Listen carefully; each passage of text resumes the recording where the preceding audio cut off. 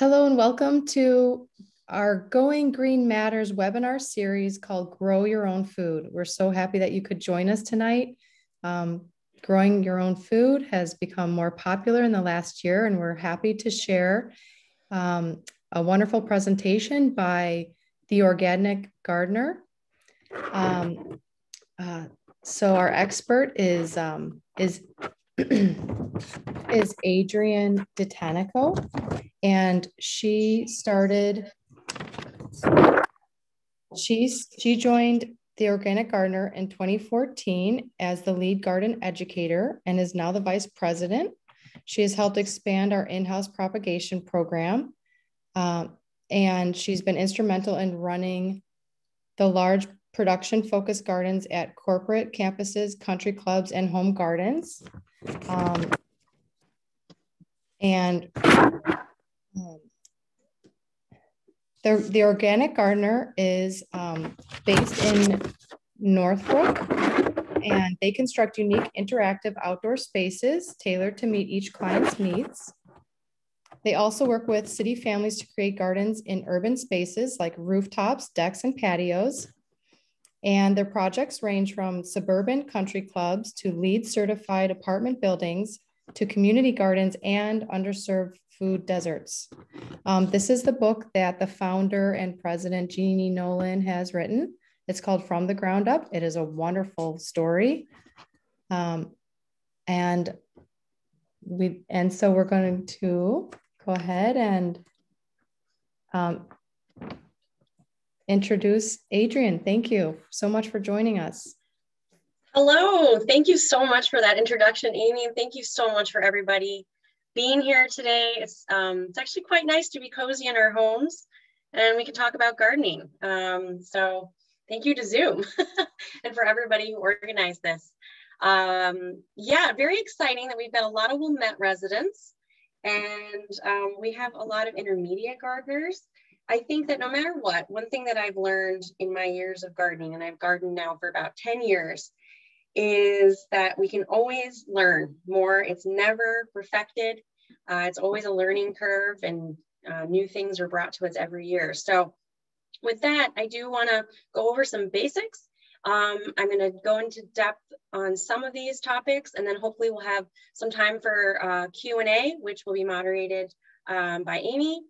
And um, I also have lots of pictures to show. So let's get started.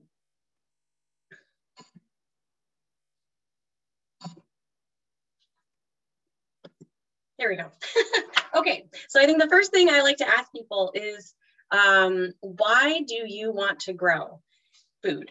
Um, I think for a lot of us, there's so many different reasons. You know, one is certainly we want to get more in touch with our food. We've learned so much about how disconnected we've become from our food, um, how, you know, a cucumber in the grocery store gets there and that whole journey to actually have that journey in your own home is very important. I think certainly over the last couple of years, we've realized how important it is to try and be more self-sufficient um, and be more resilient in our current systems. Um, there's also, you know, we want to reduce our, our packaging, we want to reduce our food miles. And I think those are all really important things. But I really do think that at the heart of it all, and I'm, I'm hoping everybody here will somewhat agree, is that we really want to create connections. And it's not just the connections in our gardens with our pollinators and our birds and our plants, but it's connections with other gardeners. Uh, it's connection with our food, with other people who um, produce food and create food. I know that I have a lot of flowers now in my front yard. And I can't tell you how wonderful it was in the last year to watch people walking because so many people have taken on walking, which is so wonderful. And they stop to look at the flowers, and the little kids will very politely ask if they can pick some flowers. And it's really a moment where I never thought I'd be this close to my neighbors.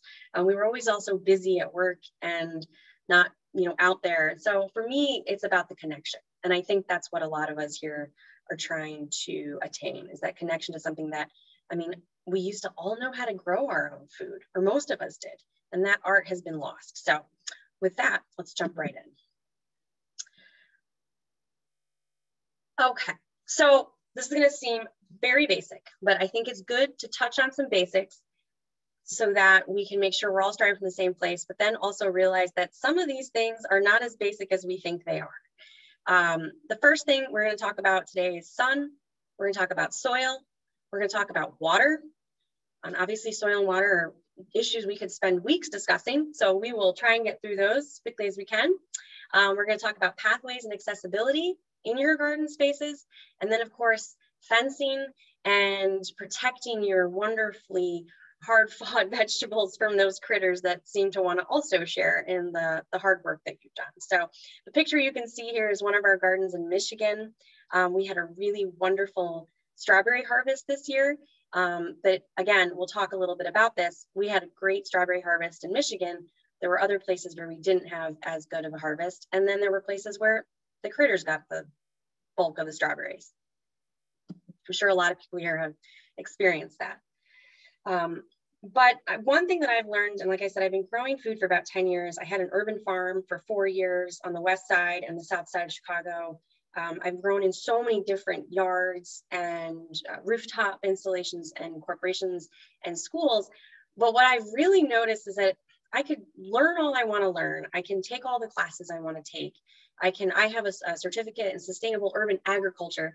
But at the end of the day, I really needed the curiosity to get out there and experiment. And I needed to be able to have some of my bedside reading be about gardening, um, kind of nerd out on the garden. And I'm sure that those of you who are willing to spend your evening with us tonight are in that same boat, but um, there's always really great things to read.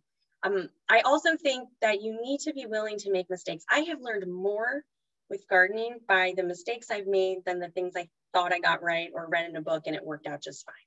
Um, my first garden experiment, my new house, this was in 2008, I thought it'd be so fun to plant um, lemon balm and I put it right in the ground and I have lemon balm forever and ever now. That was a mistake that I won't make in anybody else's garden and I probably won't make in my next garden. Um, I love the lemon balm, but as those of you who are growers know, those mints like to travel. Um, but I really do think that it has to come from a place of love. I think that's something that we've certainly learned in the last year. Um, things that come from the heart are so much more powerful. And for me, a garden failure, I still give that plant love and I thank it for what it's done um, in helping my soil structure, in giving me something to look at, um, and giving maybe a bird of seed to eat. So for me, those three things, curiosity and the willingness to make mistakes and to come things with at things with love are very important. But at the end of the day, I have to admit, I have done a lot of my learning because of Google. um, a search engine at the ready is very important. I oftentimes will be in the field and I manage a group of about 15 gardeners and sometimes they've got questions at me. I'm, I'm their horticultural lead and I don't always know the answer there's a lot of knowledge out there. Um, I learned some gardening skills from a 98 year old gardener and she still hadn't figured it all out and she had been gardening for 50 years. So there's answers out there. There are people who want to help. And I think it's all about making those connections and talking things through or reading that subreddit on how to grow tomatoes. um, okay, very basic, I know, but I think it's worth mentioning because I'm sure some people on this Zoom today have had this problem where they think they've got a great spot, but somehow their vegetables don't thrive. They're not as tasty as they thought they would be. Um, one thing that we've noticed in the, the North Shore area, we've got these beautiful trees. It's one of the things that makes the North Shore so beautiful, but they cast a lot of shadows. Um, we also have a lot of buildings. Um, what we have found is that over the years, if you don't have eight to 10 hours of sunlight, you're not going to have necessarily the best vegetables, the tastiest vegetables. They might be more susceptible to pest and disease pressure. Some places only get six to eight hours of sunlight. Maybe you want to put it in your backyard, but that only gets five hours of sunlight. Front yard, can you do that in your community?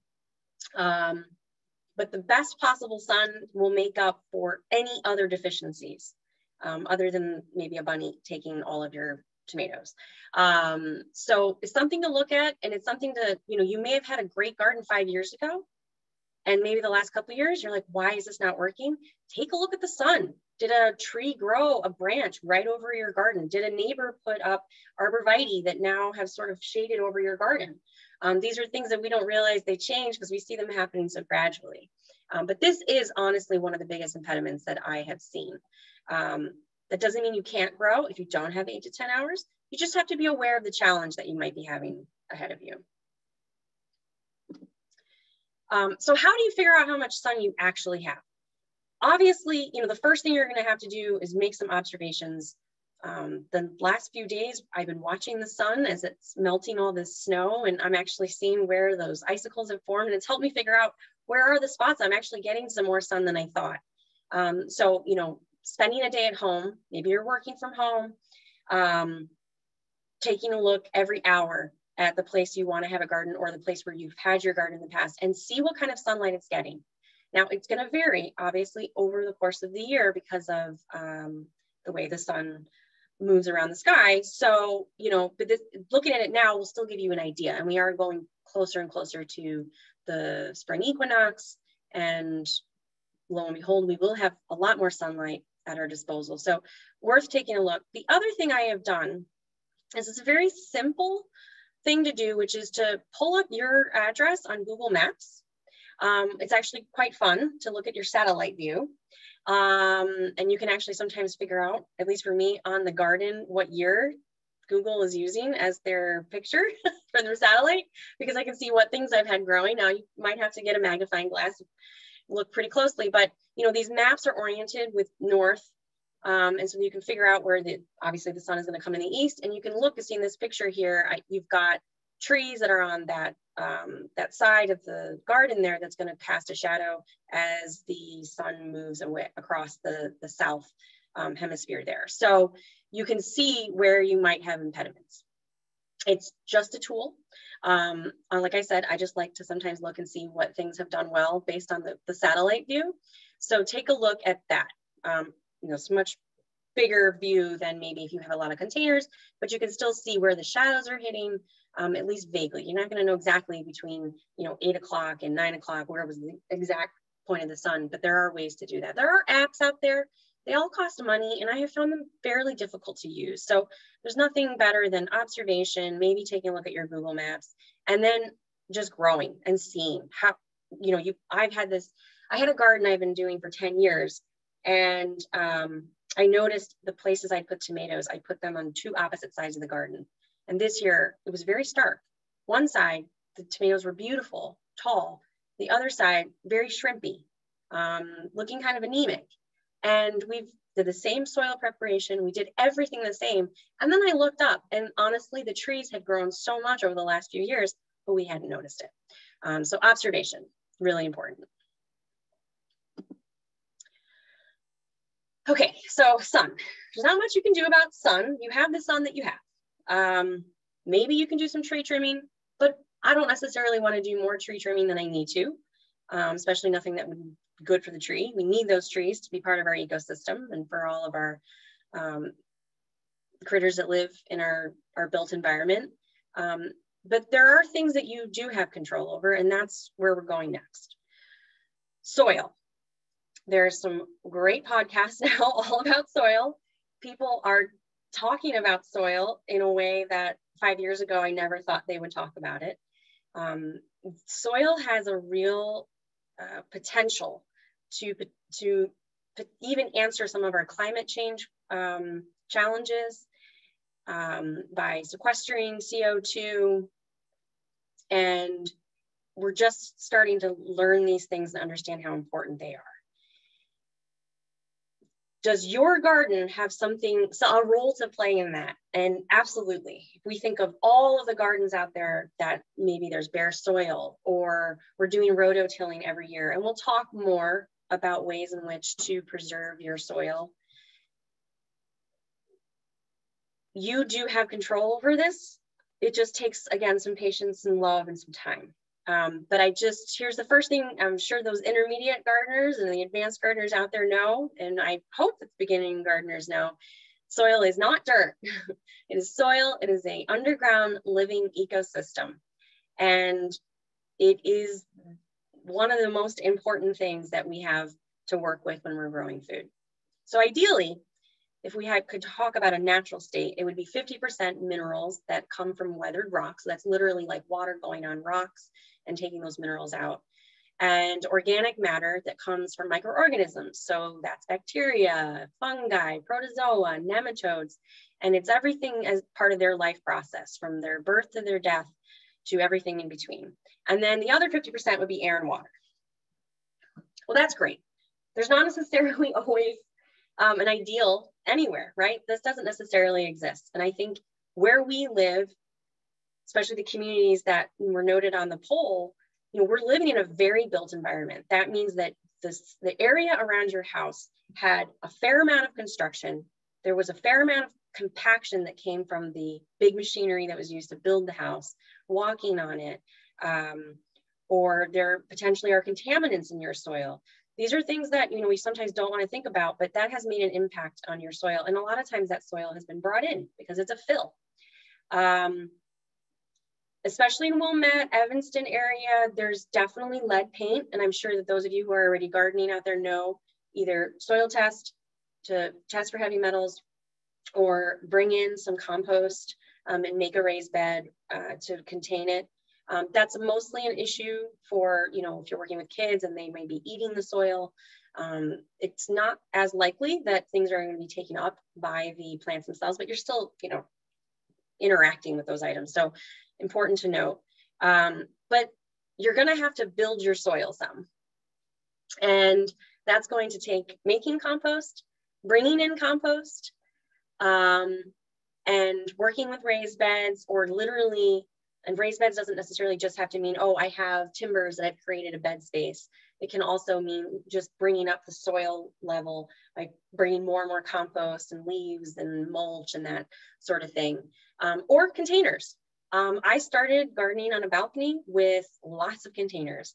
Containers of all things, all sorts. Containers that I bought at the store, containers that I constructed on my own, five gallon buckets, uh, lettuce containers, anything I could find I could put some um, soil in and grow something in. Um, and there's also, you know, there's the opportunity potentially for some home indoor gardening if you want to experiment with microgreens, which is another way to um, grow your own food. But this can take some time. That doesn't mean you shouldn't immediately start gardening as soon as we can get out there and do some gardening. Um, whether or not your soil is where we want it to be and is it ideal, again, there's no such thing as an ideal in my world. Um, we're always working with an ever changing system, um, but we can do things to foster that, right? So um, these are some guidelines. Um, so guidelines for supporting your soil. These are just some things that I have experimented with um, over the last few years that I have seen some real positive effects. So one thing is start growing. Um, people often ask me like, how do I condition my soil? There are so many conditioners that we can buy out there. There are things that we can add to the soil, but I have found that the best thing to actually help your soil do its best is to actually start growing some roots. Um, and so that's growing anything. It could be perennials, it can be flowers, and it can be veggies. Um, but just getting things growing that really starts to foster the microbial life in soil that actually helps with the whole photosynthesis process and for making the most tasty, lovely vegetables that you can grow. The second thing that I have found incredibly important, and this can be challenging, is to mulch your garden. Bare soil will often, um, I don't know if you guys ever noticed, you can put compost in and eventually, you know, by mid-season, the compost level has gone down, right? There's some normal compaction that happens with rain um, and potentially as we were working with the soil, but some of it is literally going off into the atmosphere. Um, CO2 comes out of that bare soil. Um, so for me, the most important time when I don't have things growing in the soil actively is in the end of the season over the winter to try and mulch as much as possible. I try to mulch when I'm actually growing my vegetables, but that doesn't always work exactly how I want it to. Um, so at the very least, at the end of the season, straw, leaves, compost. I've used cardboard, newspaper, anything to just to cover it and tuck it in for the season. Amending every year with a little bit, a light layer of compost, whether you make it yourself or not. Um, avoiding working that soil when it's wet. Um, pursuing conservative digging. A lot of gardeners think that we need to rototill every year. I would say avoid it unless you have a lot of roots. There's been some heavy compaction event, so maybe you had some construction, um, or you're creating a new area and you really need to break some sod. Um, I also love using cover crops. Um, here, and I have a in the previous slide, there was a picture of some hairy vetch, it's one of my favorites, but I've also experimented with just using old seeds. So I've got um, radish seeds that are, you know, maybe five or six years old and their germination rate has gone down a bit. I'm going to throw those in the soil and just let them grow. And if I can get something to eat out of them, great.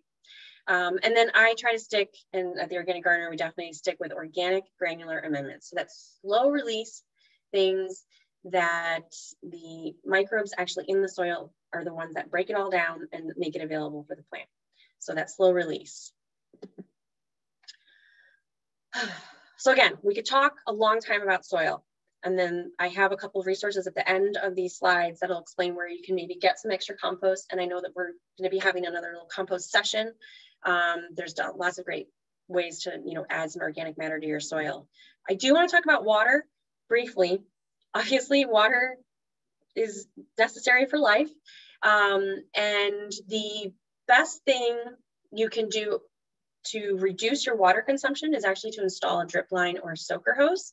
Um, these can be easily purchased at the hardware store or um, DripWorks it is an online place you can get home kits. Um, and an auto, excuse me. Or an automatic timer also when you're on vacation um, or you know you're going to be gone away from the house for a long period of time. I have rain barrels. They can be more difficult to manage, but the best thing about rain, obviously, is that it's free and it's chlorine free because unfortunately, most of our municipal water sources are treated, and that isn't necessarily the best thing for your plants. It's unavoidable um, because it can be a lot of management to get um, chlorine-free water unless you're lucky enough to have a whole house filter. Um, so just be aware when you're using any sort of rain catchment system to, um, it's best to use that in perennials or use it on things you're not gonna immediately harvest, just in case there's runoff from something that you don't wanna eat. Trying to water at the base of the plant, not on the leaves as much as possible. I tend to do early early morning watering unless I'm planting, then I gotta get water to those seedlings as soon as I can. I try to do a long duration of watering, but with less frequent watering to really force those roots to dig deep and get water from deeper into the soil. Um, I think a question that I get a lot is, how much should I water? And you'll hear people give you measurements and those never really resonated for me. I really needed to spend some time with my plants, see how they're looking. Are they looking wilty? Have I felt the soil? Does the soil feel overly moist? Does it feel super dry, like I can't even get my finger into the soil?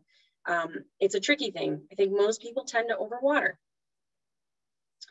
But then not having water during a particularly important time of growth can do a lot of damage to your potential yield. So you you have to find that balance. And I think by spending time with your plants, you'll find it. Um, and just be aware on really hot days, why are your leaves wilting? It may not be because they're stressed out of water. They, they might be just protecting themselves from the heat, just like we might shrink away from the heat. Um, and really getting in there and feeling things with your fingers is really important. Fencing.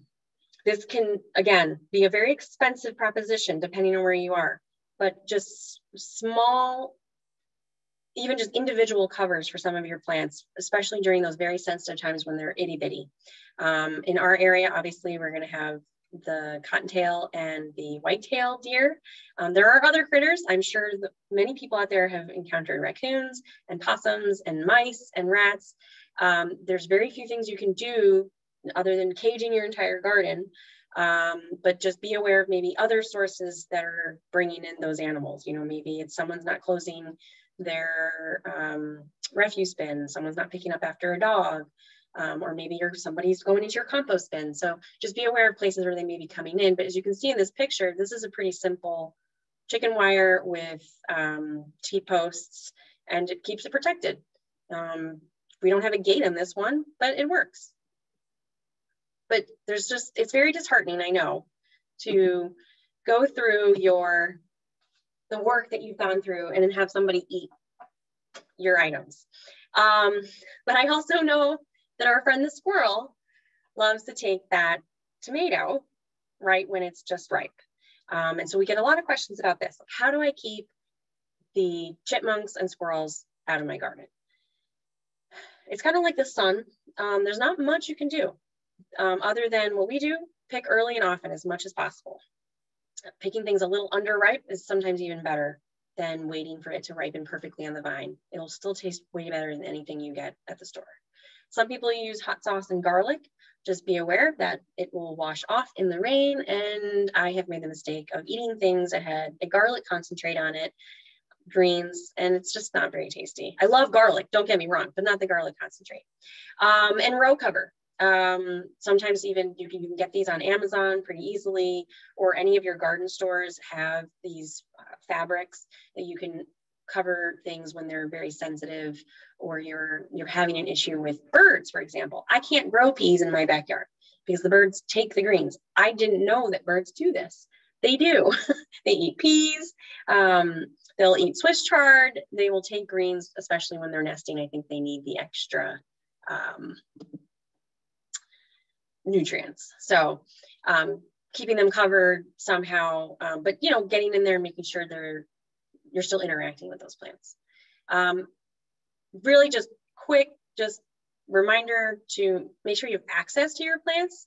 Um, I have made the mistake of putting things in certain places that then I can never go to them because I was very eager to get them in the ground. Um, it's good to have access to your plants. It's good for you to be able to enjoy the space a little bit more as well. So make sure you're thinking about that when you're planting.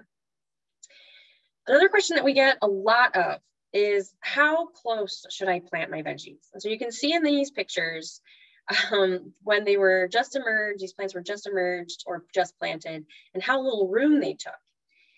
And then what they look like about, oh, two months later. This garden, you know, these are, this is edamame and tomatoes, and it's very lush. It's looking great, but we have to think about how are we going to get in there?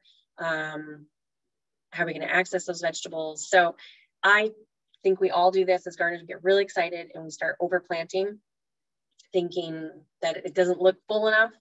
Um, but the more room you can give your vegetables, the better.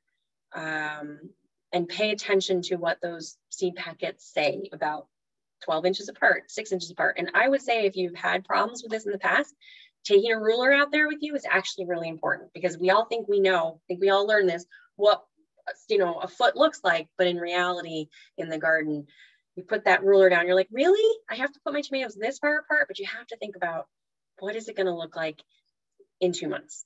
And is the airflow going to be so poor that I'm going to be inviting pest and disease pressure? Um, I'm sure many of you have heard about square foot gardening. I think this is a great way for beginners to get started. There's some really great resources online about how to measure things out, but it's literally you make a grid system. This works great when you have a raised bed. This is a great exercise when you're working with kids too.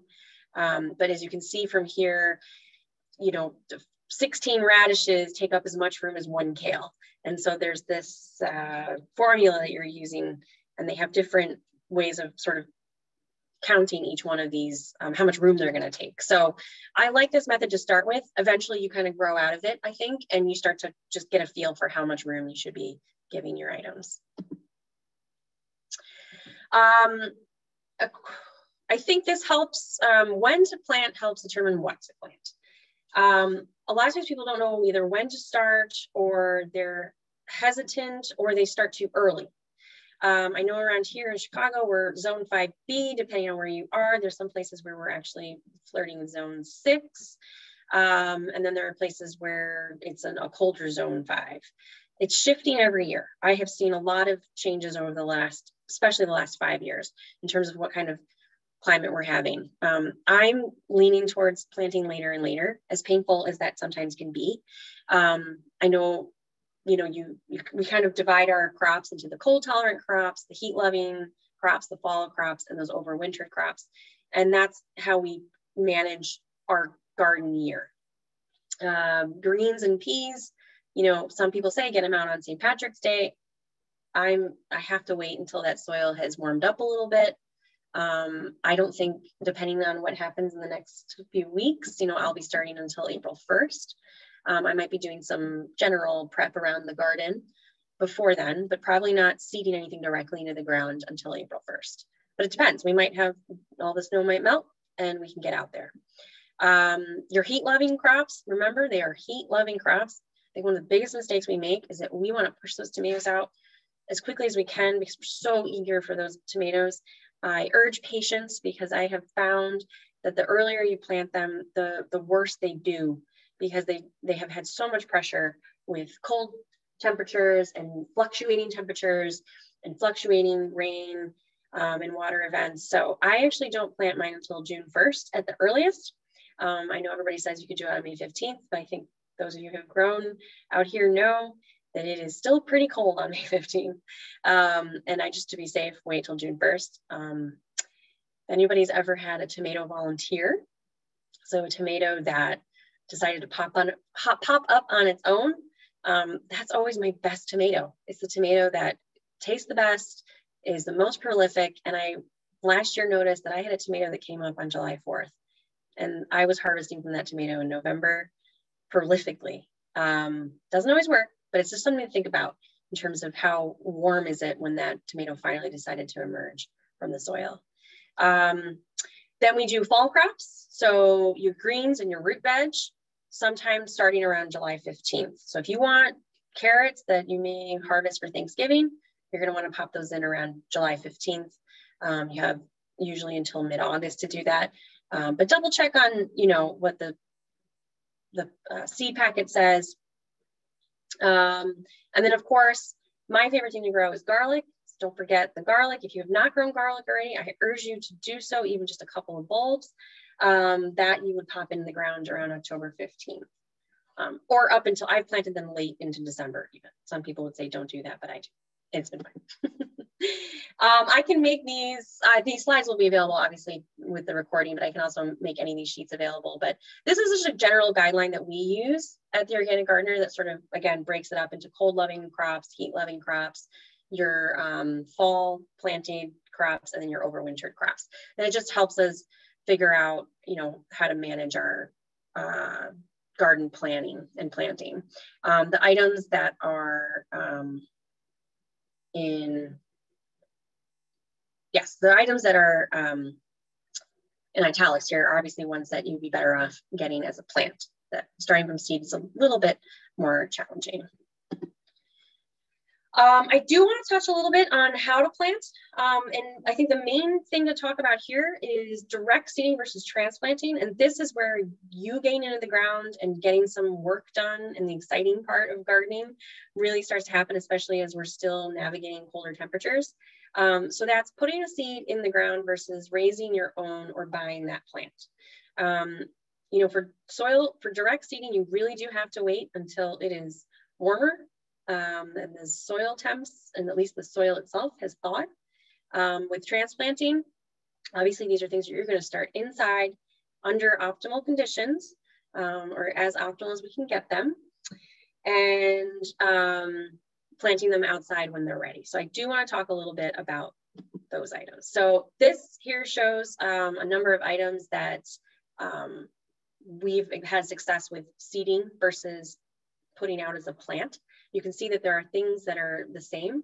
There are duplicates, for example, cucumber. We've had success seeding cucumber, especially later in the season. We've also had success planting cucumber as a seedling start that we started in our greenhouse. Um, worth experimenting with this. Um, the thing to remember is that for the most part, your heat loving crops are not gonna love being planted, or they're not gonna necessarily give you a good yield if you plant them too early. Um, so for example, pepper, a pepper seed, obviously, those of you who have grown peppers, you can't just put a pepper seed outside. Um, you have to start them inside because we just don't have enough of a growing season long enough to really get those guys to um, develop fruit for us. Um, but there are some obvious uh, exceptions to this, things like cucumbers that love it warm, but you can definitely still pop a seed in. So this is, a, I think this is a useful um, sheet for you to take a look at and um, plan. So I'm sure that some of you are excited about doing your own seed starting. I encourage you to at least try it. Um, again, it's like any part of gardening. There's probably going to be some failures. There's going to be some things that didn't work out the way you wanted. Um, but you have the ability to have so much more variety at your fingertips. You have an intimacy with your plants. I think it makes you a better gardener. You learn a lot about the needs of those plants by starting them on your own. Um, if you've never started seeds before, you're going to have to invest in some equipment. And that doesn't mean that you're necessarily going to be, you know, saving all your money on your groceries this year, growing your own food, but you, you use an investment and these things last a long time. I've got grow lights that I've been using for over 10 years. Um, so, and there's, you don't necessarily have to get all the equipment right away. You can start building your collection. You'll see you'll get addicted. So, um, so just things you want to consider for your seed starting supplies. I think lights are very important. I think it is something to invest in. Even sometimes for uh, so many people love their house plants now too. Um, any decent grow light can help you with um, your house plants as well. Um, but you do need lights. I have not had success, and I think people feel like they haven't, they don't know what they're doing, or they have a brown thumb when it comes to seedlings because their seedlings died on them, and they'll send me pictures. And oftentimes they were really trying to rely on a windowsill. And that's great for some things, but for most of our heat lovers or things that you really want to grow robust, they need um, more direct light and more powerful light than you're going to get from your windowsill. For some things, bottom heat is really important. So they sell heat mat, heat mats. I've gotten away with a warm bathroom that has a uh, register underneath the vanity, so it's really warm. Um, so be aware, I know people put it on top of their fridge where it's nice and warm, just to get some seeds need a lot of heat to germinate like peppers. Um, you're gonna have to get your hands on some pots and trays, cell packs. Um, those are things that, I mean, we always have a lot of, but you'd be surprised what things you can find. And that's a fun little jaunt on the internet to see what things you can use as different pots and trays. That being said, I've reused a lot of my plastic trays and pots for years and years and years. And when they start getting a little, you know, worse for the wear, I'll throw them out or recycle them if I can. It can be difficult to recycle, um, but I try to reuse them as much as I possibly can. Um, one area that I am very poor at is labeling. Um, and I urge you to do better than me. Labeling is really important because I know you, you think you're going to remember what you planted in that little six pack, but inevitably you forget. And then it's a fun adventure. It is to see what's going to emerge from that, but it's best to label. Um, growing media, when it comes to seedlings, I do like to start with something that is specifically for seed starting. I've tried to make my own mixes and I haven't had as much luck. I sometimes get issues with what they call dampening off, which is a, a fungal issue. Um, so, you know, a little can go a long way. Um, I've also reused my growing media. Um, you can sometimes generate some issues with pest and disease pressure, but um, I don't necessarily, I want to use things as much as I possibly can to reduce the amount of plastic I'm using and how much money I'm spending. So um, just be aware of that. Um, follow the seed packets or the catalog information. Those things are really for your disposal. I used to ignore these things, but as you can see here, it has some really valuable information. I love the ones that are just pictures because I can see, okay, this is a full sun plant, half an inch deep, 12 inches apart, how many days until I'm harvesting. It's very easy to follow that, um, especially if you're working with kids or maybe you're working with people who, you know, English isn't their first language. This is a way people can, can interact and connect. Um, some things to think about when you're doing your seed starting, you know, you want to pay attention to what is the temperature and the light after the seed has emerged. I think that's something else. You know, sometimes we, we put them in a, in a basement and it's a little too cold or maybe it's too musty and damp. Um, they want to be warm. Um, I often bottom water my seedlings so that they don't get too waterlogged. Um, and I will get a fan going. Um, the fan actually really helps it not just to get some air circulation, but helps the plant itself get used to being outside um, because it's not going to be away from wind when it's outside. Um, that's why I say play with your seedlings. I run my hands across them. Um, I talk to them. I move them around. Um, I never let them sit too long in one place. Um, I want them to just feel a little bit of that, you know, we're going outside. You're not going to stay in this neat little optimal condition forever. Um, and I think also not starting too early is really important. I start my tomatoes March 1st. I'm so excited. And then they would sit there and sit there in their pots for too long. They get very root bound. And I realized that they would do just as well. The example I gave of the volunteer tomato, if they just, if I started them later and got them into the ground, even if they're a little bit smaller. Um, you want nice, you know, thick stems. You don't want super leggy, as we've seen things that have been trying to reach towards the light. Um, it's called internode space. I like there to be some some space or some some limited amount of space in between the the leaves. Um, and if if you did start them early or we've got a cold snap, just be aware of how much room are they do they have in their pot right now. They might need to get um, pot up into a bigger pot. Um, and then I'm sure a lot of you have heard this, but don't just put them outside. I have lost a few items in the past, um, even as early as last year. I lost my um, my sweet peas. I was so excited to finally grow sweet peas. And then I put them outside and it was 90 degrees on the day I was working all day. and I didn't water them and they died. And I was very bummed. So there you go. We all make mistakes and it, it happens. But starting small, getting out there and experimenting um, is totally worth doing. Um, I do want to I do want to let you know a couple of resources um, that this these are not people that we we we buy from these people, but you know we're not selling for them. But um, these are places where we get our seeds. Um, Seed Savers Exchange, Johnny Selected Seeds, and Baker Creek Heirloom Seeds. Um, just be aware that there's a lot of demand right now. There's also just generally delays because their warehouses are not as staffed as they usually are. And I know for some of these items, um, or some of these places like Johnny's, they weren't even allowing home growers to order until last week. Um, we ordered in December because we're commercial growers, um, but it's actually a big issue. In that regard, I would highly suggest going to your local um, co-op, um, your local uh, garden center. There's so many seeds available. Um, you don't necessarily just have to get them online. I know it's fun to get them online, but there's a lot of delays. That being said, I do want to just give a, a, quick shout out to a few resources that um, we use a lot, and that's Gethsemane Garden Center. Love them. They're not too far from Wilmette. They have a really great organic selection. Um, a new place that opened, City Grange, highly recommend the work that they're doing. We also love Mikey Garden Center in Niles.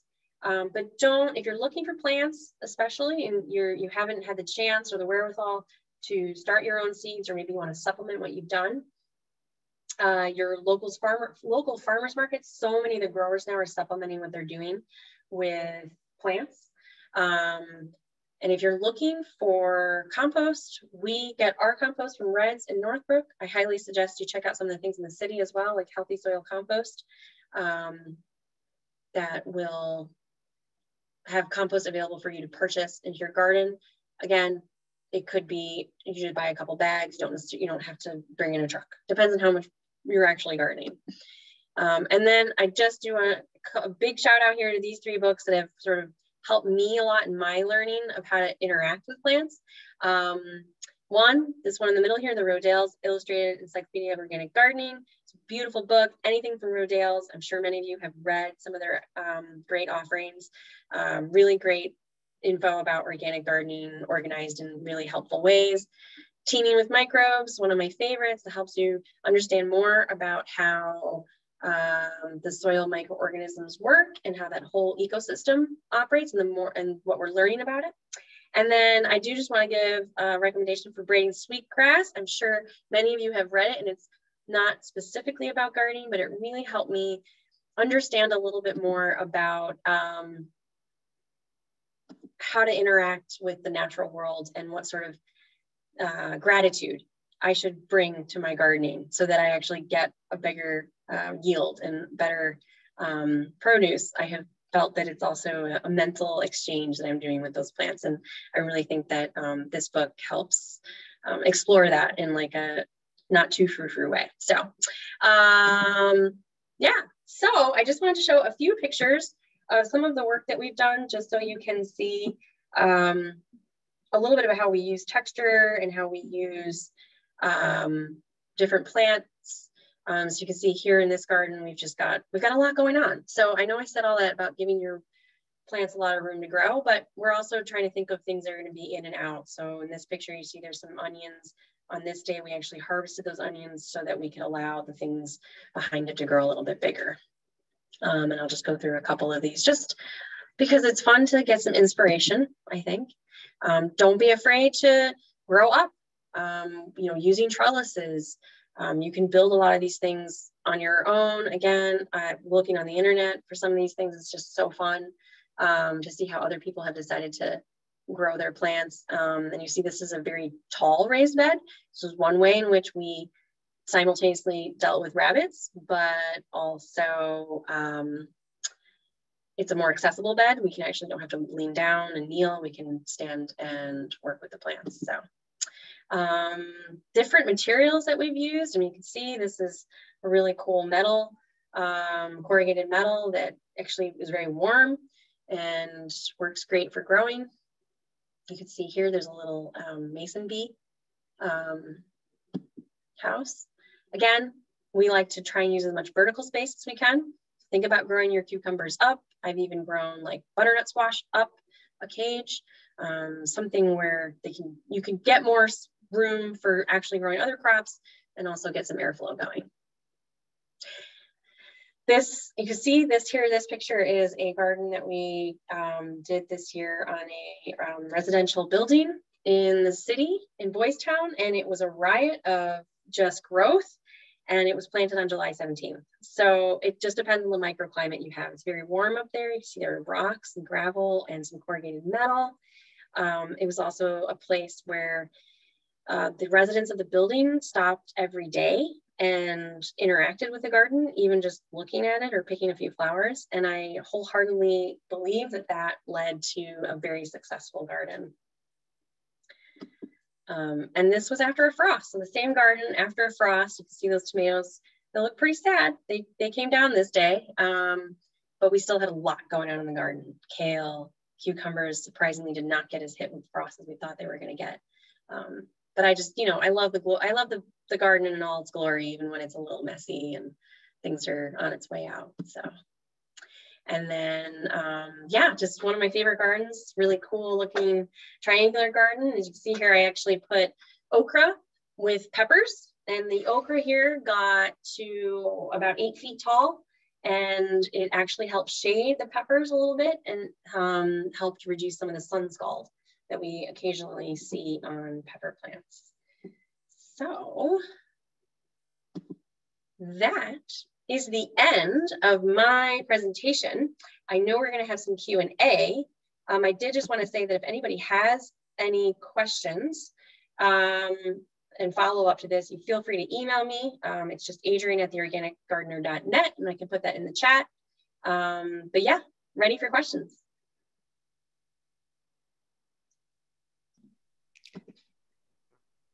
Excellent. Thank you so much. Thank you, Adrienne. That was awesome. We really, really enjoyed those beautiful pictures at the end. We loved your examples. We loved the tips that you gave. It was perfect. Thank you. Thank you. Yes, I love helping people grow. So um, anything I can do to help. yeah, exactly. And it is, it's a, it's a wonderful thing to be able to share. So we appreciate it. Um, we are going to get to some questions. We want to remind everybody, um, go ahead and put your questions in the Q&A box. Um, the chat feature, we're going to save for resources that people want to share with each other and that Adrienne can plug in some um, of her resources as well. But the Q&A is really what we want to focus on for the moment. Um, uh, you can also, uh, you might be able to do something called an upvote uh, it might be uh, an option there. So if you see a question that you like, you can click upvote. Um, if it's not there, don't worry about it. But um, Q&A is where we want to go now. So um, we also want to remind people that we have um, a webinar on soil health on March 10th. So coming up, yeah. So right, so more about soil. It's it's not just dirt um, on March 10th. So you can go to our you know pages for that. Um, so Adrienne, thank you so much. Um, we have we have uh, yeah plenty of questions for you. Um, yeah, I could. I mean, I could start answering some of these. Um, okay, that's fine. Let's see. Um, I will start from the top. Is it okay to use rain barrel collected water to water vegetables? I am concerned the runoff from the roof could be somehow contaminated and shouldn't be used on edibles. Um, yes, I, you know, when if you're growing food for production, this is certainly a concern. If you're using collected water, it's actually not safe to use it on items that are going to be eaten and harvested within, um, I think, about 48 hours. Um, so I just, you know, especially if you're not gonna, if it's not a leafy vegetable, um, if it's not something you're gonna eat raw, I think it's fine. Um, just if it's something you're not gonna cook, I would be wary, just allowing some time to, to lapse between when you use that rain barrel collected water to water your vegetable and when you're actually eating the vegetable. Um, the question about growing contain in growing in containers, when do you plant a cover crop like hairy vetch? So something like hairy vetch actually, I mean, can get a little wild. So just be aware of that. Um, it depends. You can actually plant hairy vetch almost any time of the year. Um, I tend to like to do it um, about end of August, early September, and I might actually just put it around anything that I'm already growing in there. I know containers get a little tight, um, but you can grow just a few seeds and it'll actually get uh, viney. And then once you're done growing your food in that container, you can um, kind of just smash that down on top of the, the soil of the container. Um, the best soil testing I recommend, um, there's a few different sources. Um, if you, there's two different kinds of soil tests. There are um, your contaminant testing and then there's your nutrient testing. And so for contaminants, there's, um, of course, I am totally blanking on the name, but we can get you that name. But there's a couple different places you can get. There's one um, through UIC actually that we used, um, stat analysis, S-T-A-T, stat analysis. They have a really quick turnaround and they test for heavy metals if you're concerned about that. Um, and then we send out um, our nutrient testing to the University of Massachusetts um, and Logan Labs in Ohio. I can also get those to everybody. Um, but honestly, when it comes to soil testing, it's just a picture. It's just a, it's a snapshot. Um, and it's really just how you interpret it. So I think any testing service is really okay if you're going to do some research and see what does it really mean for your soil. Um, I like soil tests, but I definitely don't want to discourage people from not gardening if they don't have a nutrient test. It's really just a snapshot of, of um, what you're working with. Um, is it okay, okay or beneficial to leave the end of season spent veggies on the soil as a mulch for the winter, like pulled up kale plants, etc.? Okay, I love doing this. I cut, I chop up everything and I put it on the soil. I am sure that I am good. There may be controversy about this. There's definitely some concern of pest uh, res or residue from uh, funguses or bacteria or um, the eggs of pests. Um, so there are a couple crops I tend not to do this with, and that's anything that's in the what they call cucurbit family. So that's your watermelon, your cucumbers, uh, your pumpkins. Um, mostly because it's a little bit messy and there, there are a lot of cucumber beetle issues. And I did see there was a question about that. Um, so I really love doing that um, because those nutrients were pulled out of the ground and now they're done. So um, putting them chopping them up and putting them back in the soil is great.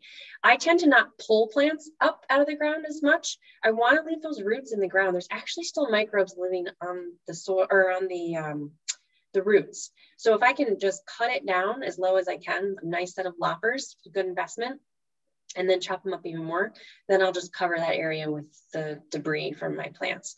There are people who do it the complete opposite and say everything needs to come out and you need to start clean every year again, you have to experiment, see what works for you. Um, question about cover crops, do you do in the fall? There are definitely cover crops that you do in the fall and that you leave to what they call overwinter and die back into the soil. Um, but you don't necessarily only have to do it in the fall. You can do it earlier in the year and you can grow around and in and amongst your cover crops. Just be careful what you pick. There are some cover crops like ryegrass that have very deep roots and will compete with your vegetables. But there are other things like hairy vetch that I love, um, or like I said, other vegetables like radishes and turnips that won't take up as much um, of the root space. So um, do some research on that, do a little reading about um, cover crops. It's a really cool way to keep your soil alive. Adrienne, can we ask a question about yes. um, backyard composting um, yeah. to improve the soil health? How can we weave that? How can we weave that in? I mean, it's just as just as good or yeah for sure i mean your compost in your backyard is going to be made up mostly of the things that were in your yard right and then your um your plant or your your your scraps from your kitchen I've been doing my own compost um, for as long as I've lived in this house, which is about uh, 12 years or so. And over the years, I've developed, you know, I've built a lot of compost and I am putting a lot of that just right on the, on the garden. That being said, your backyard composter, depending on the system that you have, is not necessarily going to be hot enough to kill off weed seeds. So be careful putting weed seeds in there. Um, and it certainly will not be hot enough to kill off things like tomato seeds. So sometimes you're going to be going through and you're, you're, you're adding things that may germinate, but I'm willing to deal with that to have the ability to use my own compost.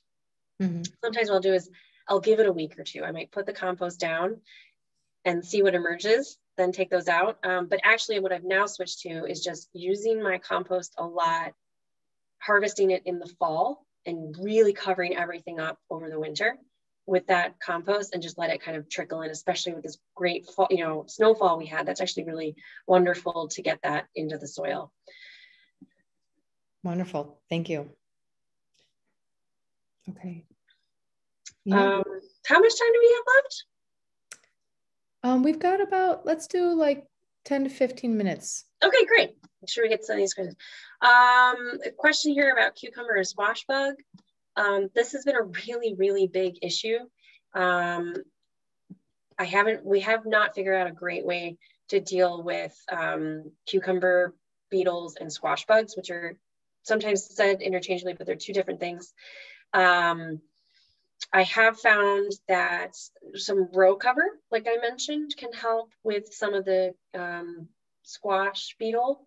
Um, but I we have yet to find something that is really good. I know that's not a really awesome answer because I know people want an answer for that one. But what we've been actually pivoting to is trying to prevent the beetles and squash bugs from getting on the plants in the first place by trying to get those plants to be as healthy as we possibly can.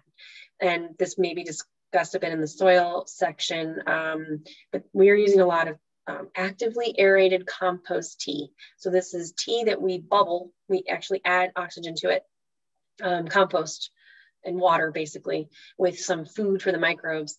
And we've had some success with making plants that are just so healthy that they are physically indigestible to those cucumber beetles and the squash. And so they don't even bother with the plant it doesn't always work and it's a process. like I said, I've been growing for a long time and I have a company behind me that's willing to invest in the compost tea.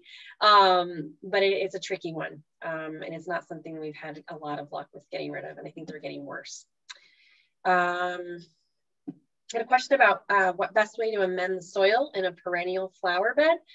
Um, I think a lot of times people are concerned about their perennial areas. They don't want to dig up. They don't want to disturb the plants that they already have in there. So I think the best thing for amending soil in any place where you don't want to disturb the soil too much is mulch, mulch, mulch. So you can add a little compost as what we call top dressing, and you can mulch on top of that. And you can use whatever mulch you want to use in your space. Um, it can be, you know, for your perennials, oftentimes a hardwood mulch is totally fine um, and is actually beneficial, um, you know, to whatever you kind of, if you want to do a lot of ground up leaves, that's my favorite thing because they're free. And um, even just a, the mower attachment, or if you have landscapers that may be doing that for you, um, asking them to break up some of the leaves and leave it in a pile for you. Mm-hmm. Um, leaves are amazing. um, uh, any recommendations on finding wood timber that has not been treated? Um, so we only use cedar timbers in all of our gardens, unless we're using another product, like so there's some metal um, and, and stone that we've used. Um, you, we get all of our stuff from standard lumber. Um, things are getting very, very expensive with mm-hmm. cedar. It is astronomically more expensive every month. Um, so just be aware of that. And I don't, I, I think there's a number of issues that are causing that, but I think that's something that we're going to be facing for a while. Um, costs of everything have gone up and certainly cedar is not getting here um, as quickly as it used to. And so it's just pricey. I know trucking has been an issue for it too. And then uh, the same person asked, um, and for the raised beds, does it all need to be soil? Can it be filled with other materials, rocks in the bottom? Absolutely. You know, I try to aim for 12 inches of soil depth um, in a raised bed, or even if I'm just trying to raise up the soil line of my soil um, or my garden space, um, but you can use rocks. I've had some success growing containers where I just throw in a bunch of um, twigs, uh, leaves, um, pottery shards, you know, anything you've got that I know you want to take up some of that volume so you don't necessarily have to spend so much money on that potting soil, but also just to make it lighter. Um, so yes, absolutely. Um, I like to, and one of my favorites is we've done that with some gardens too, where we had really tall raised beds where it just was too expensive to go all compost. So we went with rocks. Um, okay, so I have a question here about rotating crops. I know we were supposed to rotate crops, but I have only one raised bed. So what do you recommend? We don't rotate our crops. Um, we are in the same position that you are in. A lot of our gardens are pretty small. You know, we're, we're in people's backyards or we're in a school garden where there's one raised bed. Um, it's certainly on a large scale for farmers. It can really help with certain pests and disease. Um, but I'm not a believer of it necessarily when it comes to your backyard garden. If you've got a spot that tomatoes have done well in the last five years, why mess with it? If it's doing well for you. Now, if there's some reason why you think maybe switching it up would, as an experiment, let's see if it does better, certainly go ahead. Um, but if you've got a, you know, place that where those things work, keep going with it. I've got a few gardens that I do that it's the same plan every year. We know it works, it, that we know how it's going to look. The client's really happy with how it looks. And I'm not as concerned about the rotation. Um, somebody asked about keeping squirrels out? Is there any specific fencing that keeps squirrels out? I wish the answer were anything good, but no, not that I'm aware of. um, in general, are there any veggies that do better in less sun? Yes, your greens, um, spinach, lettuces, some of the herbs like cilantro, dill. Um, I tend to think of things that are cool weather crops can do well with less sun um, I think you can get away with six hours, you know, eight, six to eight hours. Um, you might, you're still able to grow even if you have four hours. It's just things are going to get a little leggier and they might, they might look a little more um, pick that because they will get more pest pressure. So just keep that in mind. But you can certainly try it and you you never know. Things sometimes do really well and you would have no reason to believe that they should. But again, you like love that plant and you spent time with it. And I feel like that can sometimes turn things around. Um, let's see. Yes, some more questions about rotation. So I, yes, like I said, we don't rotate. Um, ah, so question about protecting your zucchini plants um, to keep out the squine, uh, squine, squash vine borer. Um, we used to do the tinfoil method I see that's what um, somebody asked. Um, and I did not, I don't know. The answer is I don't know if it was that helpful. Um, and then I had like tinfoil in the garden. It's, it seemed kind of weird. Um, one thing that we've had some success with is again covering those zucchinis, um, but making sure that you open them up in the morning so that they can get pollinated. Um, and then we've also had squash vine borers that did some damage, but the plant kept producing. So we just, we got in there, took that gross larva out and covered that uh, wound up with um, soil. and the zucchini actually developed more roots just around that area. So nice.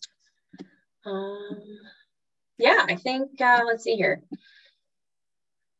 Oh, um, growing early spring, four to six weeks before last frost. How does one know when the last frost is? Um, that is based on your USDA zone. And like I said, most of us close to the lake will be zone 5B, which our general last frost date on average is May 15th. But that's an average, so it can go all the way to May 25th. Um, a lot of times even on the news like i know tom skilling my favorite he'll mention um, that's the, the, the average last frost date um, in mid you know mid-may so you might even just catch it on uh, a news program but you can look it up online um, look at your zone and it'll tell you even more narrowed into like your zip code. Sometimes they can tell you a little bit more about that but around may 15th um, should we do Let's, one more question? One more. Okay. Let's see. We could we could do maybe how important is it to use organic seed? I mean, this is all about organic, right? So yes. How you know if I if I'm at the store and I'm like I really want to buy that cucumber seedling, but it's not organic. Should I just you know? I mean, however, cucumbers have for, for me very high success rate with seeds alone. But yeah, yeah, and, yeah and same here. We've got real great success with with seeds alone. Actually, sometimes I think better. Mm-hmm. You know, we struggle with that too because we try and try our best to get as many organic seeds that we start as we can, but it's not always possible to get it. You know, um, that certification is challenging to get. When it comes to, but I've also like rescued like trees from like Home Depot. Like, I feel like it's more important what I'm going to do with it when I bring it home. Mm-hmm. Um, I think for sure it's important um, and I'm always trying to buy organic, but don't let it stop you if that's the, the only cucumber plant you can get your hands on. Because at, at least last year, it seemed like things were selling out really quickly. Yeah. Not to panic anybody, but people really want to go out there and grow. So, yeah. On yeah. that note, we um, I actually did a, a, seed sharing. You know, you end up using maybe only half of your packet, so just uh, trade with some neighbors and you're all good. You got a whole garden. yes. Thank you for mentioning that because I meant to mention that actually when I was talking about the seeds. Like I have so many seeds, you know, um, all of us, we get so excited and you end up buying way more than you need. So getting together and making that connection with somebody else, you you really might um, be able to get your hands on something fun if you've got a community of people who are growing. So, and if they're stored, if they're stored well, they could be used the next year, right? Yeah, for the most part, yeah. Um, as don't get moldy. So yeah, I mm-hmm. tend to keep it in um, a cool, dark place. Um, I also just double check the date and see when was the last, like when did I actually buy that? Because I'd be, I'm surprised sometimes how old some of my seeds are. For the most part, most seeds are totally fine. Um, there are some exceptions. I know onion seeds are notorious for not germinating very well after the first year. Mm-hmm. But one thing you can do, and this is fun also to do with kids, but I don't have any kids and I do this anyway, germination tests take 10 seeds from your packet. If you have 10 seeds to spare, put them on a paper towel, mist that paper towel, put that paper towel in a plastic baggie, wait a couple days and see how many seeds germinated. You can get a rough sample of what your germination rate is. So if only half of them came or germinated, that's fine. That just, you're going to have to put more seed in. yeah. If you're doing something like radishes, maybe like just throw in more seed. You can always thin later. Mm-hmm. So. Awesome. Thank you. Thank you, Adrienne. That's yeah. so fun. Um, all right, folks. So we're we actually, for those that want to stay longer, we have one more poll question, and Beth is going to jump in and chat about community gardens and yard sharing. So if you'd like to hang out, we're, you know, we will end at 8:30, so about 12 more minutes.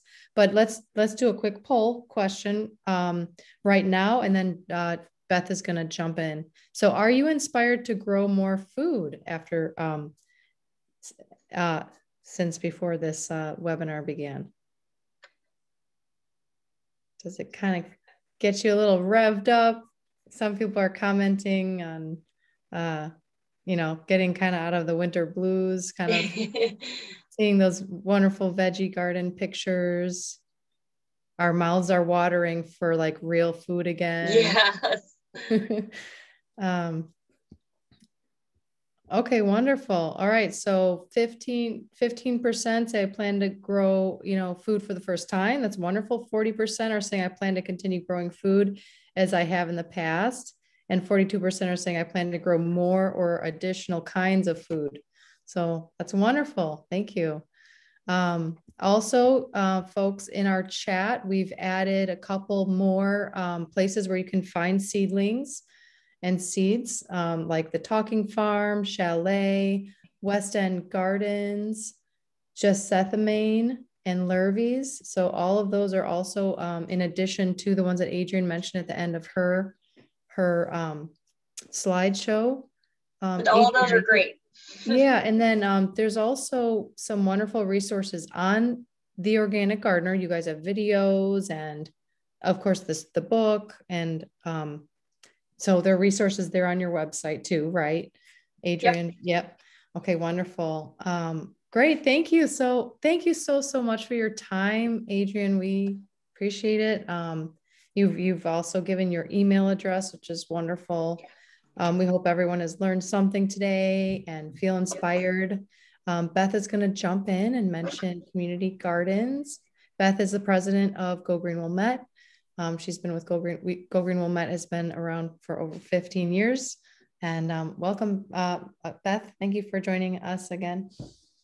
Hi, thank you. Um, thanks. It's so uh, it's great to get excited about growing food again. Um, wanted to let everyone know that there is a huge movement um, growing. It's called, you've heard about the victory gardens during World War II. They're now calling these climate victory gardens. Um, this is actually a really good way for each and every one of us to contribute to um, reducing climate change. Because if your food is coming from your backyard, you're not driving to get it. It's not getting shipped across the country. It's not being packaged in plastic bags. So um, it's a it, it's a really significant way to contribute to um, a better a better climate for all of us.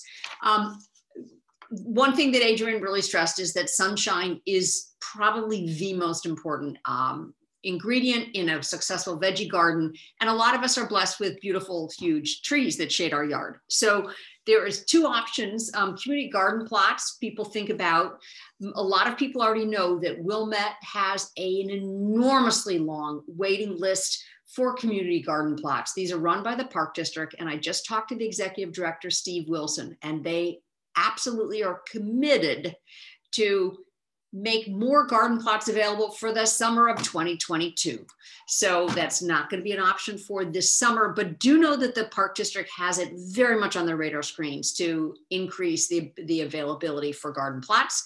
Also wanted to suggest to some of you that if you have a shady yard and you really want to grow food, see if you can't reach out to a neighbor with more sun or a friend who has a sunny yard and see whether they would partner with you. Allow you to put in some garden, some veggies in their backyard. They can help you with the work. You, you could share the um, share the uh, produce with them. So yard sharing is is definitely an option that could work right away.